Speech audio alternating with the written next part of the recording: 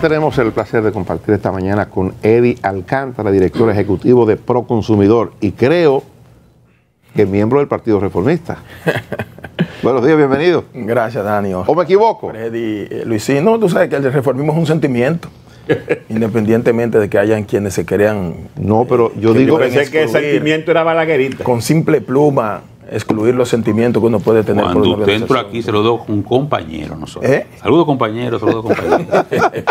no como compatriota. No, pero- Ya usted votó eso. No, no, no, no. Yo asumo, asumo lo de su militancia a partir de que hay una versión dando cuenta de que usted aspira a ser el presidente del Partido Reformista. Tú sabes que nosotros llegamos a- al Instituto Nacional de Protección de los Derechos del Consumidor excluido del listado de miembros de la organización política en un momento en el que por haber nosotros tomado la decisión valiente, que era el sentimiento generalizado de la militancia de la organización, pues a, un par de ciudadanos se le ocurrió, después de nosotros haber librado una batalla tenaz en los tribunales de la República, eh, junto con otros compatriotas y, y tratar de arrebatar el partido en un momento en que el gobierno anterior pretendía eh, entregarlo en bandeja de plata a otros miembros procura de obtener una alianza electoral para el año 2020.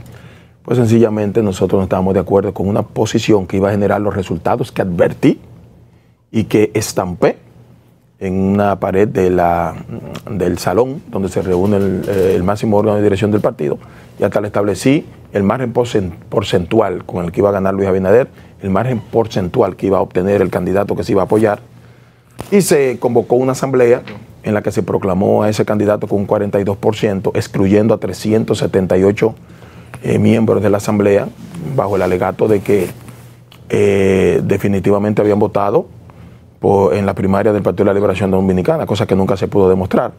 Se hizo una reunión virtual en la que dijo, bueno, fulano de tal constituye renuncia isofacto, porque está establecido en una norma. Y parece que se le olvidó que el isofacto lo eliminé, lo eliminamos nosotros de los preceptos jurisprudenciales desde el punto de vista electoral, cuando en aquella ocasión fuimos excluidos por Carlos Morales como presidente y nosotros fuimos al Tribunal Electoral. Si la razón fundamental de su exclusión de la organización es haber apoyado al candidato del PRM que hoy es presidente. Lógicamente, pero Quique en Antún- contra... dicen que aquí va a ser nombrado los próximos días. Bueno, ojalá. Es del gobierno. Ojalá, ojalá. Yo creo que pudiera eh, significar un aporte eh, para, para, para esta gestión. Ojalá que pudieran hacerlo, pues no me opondría jamás en la vida. Pero, Pero, pero eso es una información que usted tiene. no, yo no tengo ninguna información de, en ese No, sentido. es una ¿Y- ¿Y a versión. usted le gustaría eso? ¿A mí? Sí. No, yo no me gustaría eh, bajo ninguna circunstancia referirme a si sí o si no. Yo creo que el presidente de la República Perdón, o sea. tiene la, eh, la facultad de, de designar en su gabinete que él entienda. Pero lo que diría es que usted no se opondría a eso desde el punto de vista de su criterio, no porque usted Yo, no me pongo- yo nunca me opongo a nada. Eh, y lo que sí te- le debo decir a ustedes con claridad meridiana es que hay un grupo de dirigentes del partido, miembros de la Asamblea, aparte de que nosotros demostramos que teníamos la mayoría de la dirigencia media y de base, que el partido lamentablemente quedó en apenas 1.7% cuando había obtenido en el 2016 5.56%. Ahora, de los mismos que se quedaron apoyando esa aventura, que dijimos que los resultados iban a ser eso, y que quien nos iba a desplazar de la casilla número 3 era precisamente al que se iba a apoyar, esos que se quedaron apoyando esa aventura están respaldando que nosotros asumamos la presidencia del partido. Nosotros no hemos dicho nada al respecto. Pero, Pero pero sí. perdone, perdone, yo no Pero- sé mucho pero- de eso, pero usted tiene primero que hacerse miembro del partido para después querer ser presidente. No, porque hay, hay terminológicamente, el punto de vista estatutario, respaldado por la norma sustantiva y la ley electoral del partido político, es que la asamblea de los partidos políticos son soberanas.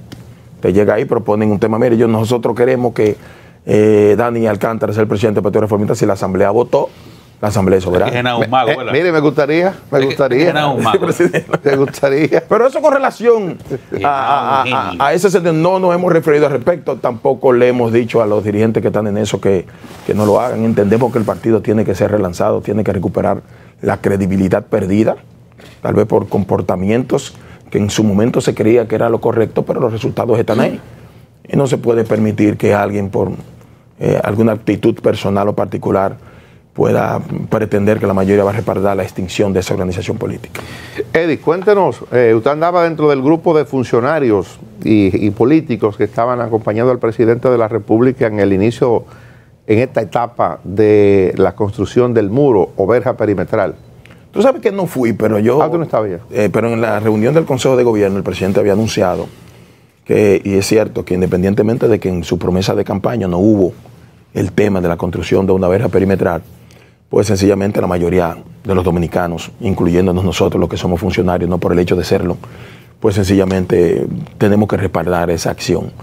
Y vemos con mucho pesar el que gente que siempre han sido los abanderados desde el punto de vista político de la construcción de una línea divisoria desde el punto de vista material, pues sean lo que hoy sean capaces de estar criticando lo que ellos han proponido siempre, han propuesto siempre, mejor dicho.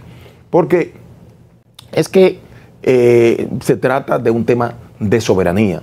La circunstancia de hace cuatro o cinco años en Haití no es la misma que la que tenemos en el día de hoy. Eh, cuando eh, en estos momentos la inseguridad de Haití está en condiciones en las que ni siquiera su propio gobierno puede controlar.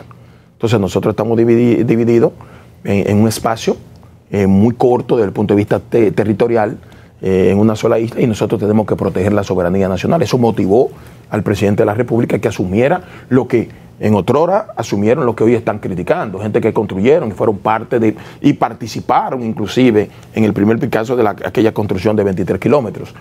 Y yo creo que hacer un ejercicio politiquero de, esta, eh, de, este, de este evento que tiene que ser respaldado, como en efecto el estudio que se levantó horas después de haber dado el primer Picasso era que un 83, un 84% de los dominicanos lo respaldaban, independientemente de que seamos eh, nacionalistas, de que no seamos nacionalistas, es que es un tema de seguridad.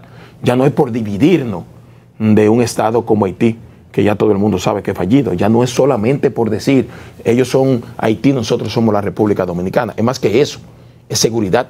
Nosotros no sabemos en qué momento el descontrol social ciudadano de la República de Haití pueda impactarnos más que lo que no ha impactado, pero desde el punto de vista ya de los hechos eh, y de los acontecimientos criminales que hay en Haití en este momento.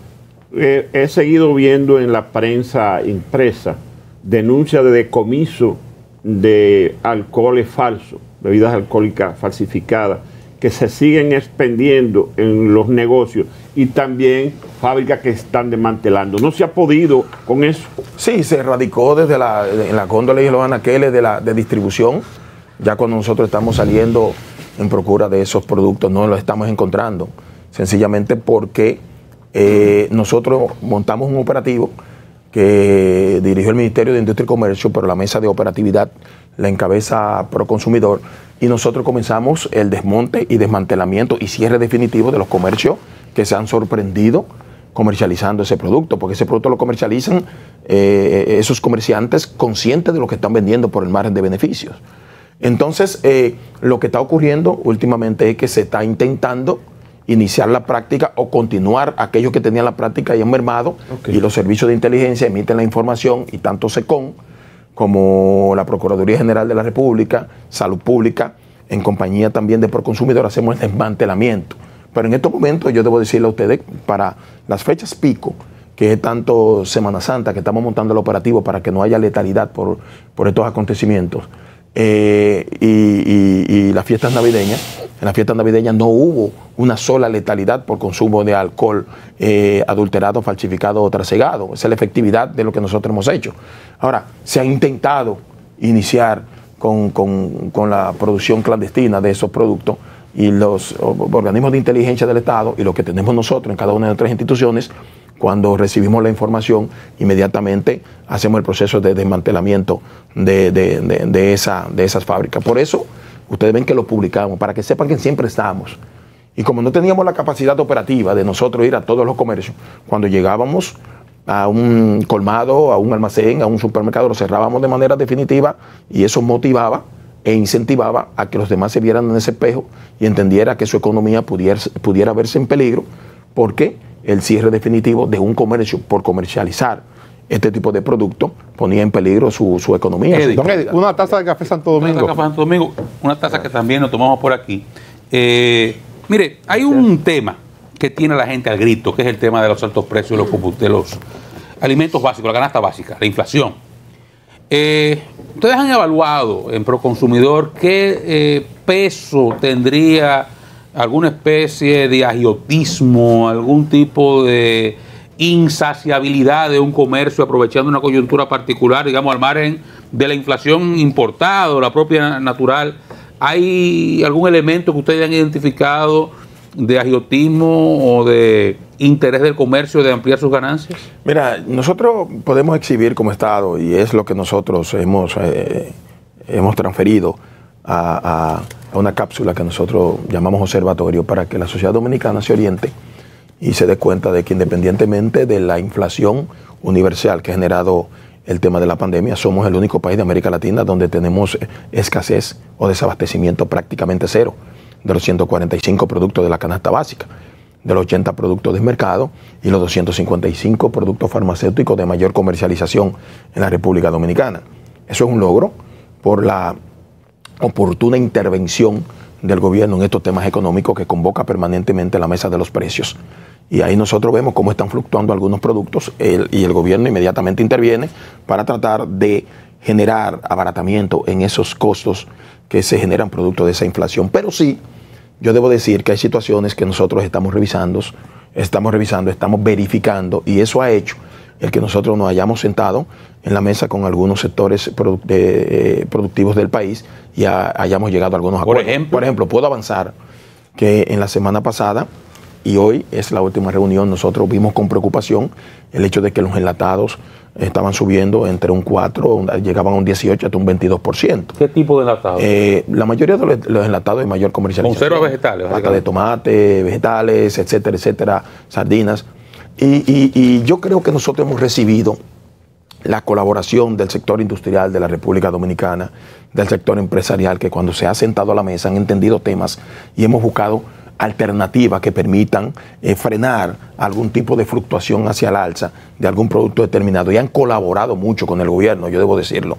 Y nosotros nos sentamos en la mesa, verificamos alternativas, verificamos situaciones que a sabienda de que ellos están asumiendo algún tipo de sacrificio, pues han decidido colaborar más con, la sociedad dominicana, no con el gobierno específicamente. Y, yo puedo anunciarle que ya hay de esos eh, eh, industriales quienes están colocando algún tipo de oferta y han creado mecanismos para que se pueda comprobar que el consumidor final en los próximos días y en las próximas semanas van a recibir eh, a precios más abaratados eh, los productos enlatados. Hay algunos que iban a producirse con ello algún tipo de alza y hemos acordado el que se mantengan prácticamente congelados hasta nosotros encontrar alternativas. ¿A partir de qué tipo? ¿Alguna compensación para ellos? ¿Ha habido algún tipo de negociación? Se están buscando alternativas, lógicamente, porque hay, hay situaciones en las que el gobierno tiene que intervenir buscando compensaciones y alternativas que, que le permita a ellos no perder tanto. Y, otro que nos podemos sentar en la mesa y ver, bueno, las ganancias son tanto, sacrifícate con un 2%. Y lo están haciendo.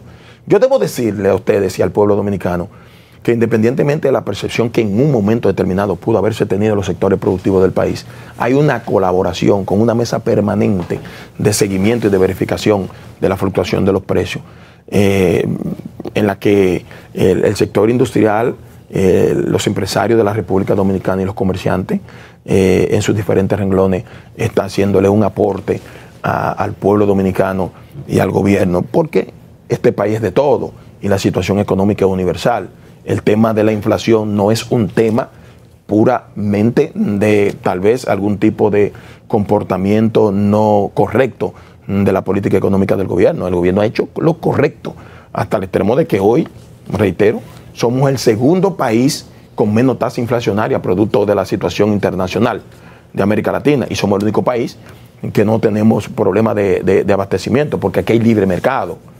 y el tema de la intermediación también puede generar el aumento de los combustibles, puede generar algún tipo de inflación.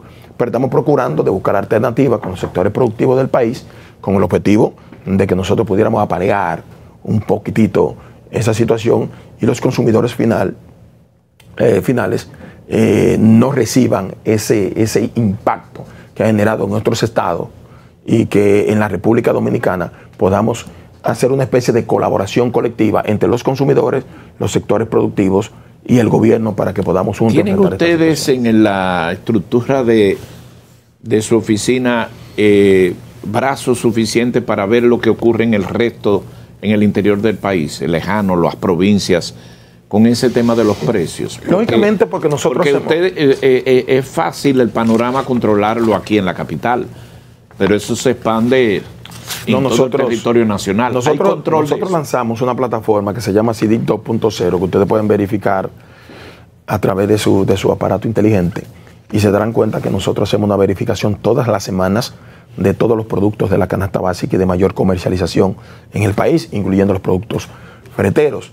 Ahí nosotros podemos darnos cuenta, porque es prácticamente un levantamiento cara a cara que hacemos y con la colaboración de los sectores comerciales de la República Dominicana, nosotros podemos ver cuando un producto está subiendo eh, por semanas, cuál, está, cuál se ha mantenido estable, qué producto está disminuyendo en su precio.